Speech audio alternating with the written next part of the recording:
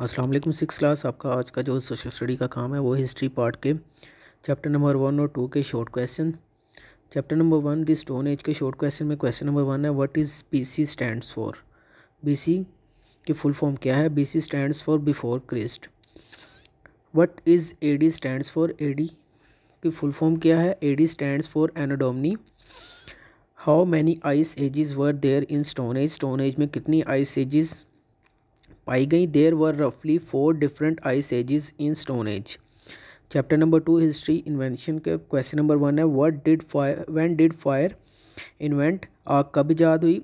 Fire was invented round about 1.8 million years ago when did wheel invent पहिया कब ईजाद हुआ? The wheel was originated in 3500 BC पहिया तकरीबन 3500 बीसी ईयर में ईजाद हुआ।